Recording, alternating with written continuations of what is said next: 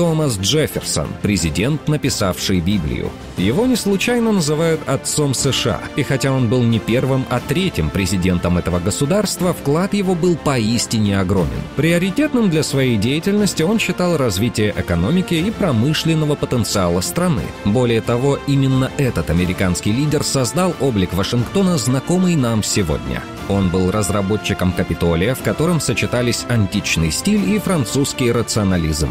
С юных лет выходец из семейства влиятельных плантаторов демонстрировал страсть к двум направлениям – наукам и политике. Он знал несколько языков, стремился к развитию промышленности и сельского хозяйства в Америке. Его главным детищем стала Декларация независимости. Над ней работали несколько авторов, однако заключительная часть трудов и поправки принадлежали этому политику. На посту президента у него нашлось время написать даже Библию Джефферсона, собственный вариант Нового Завета.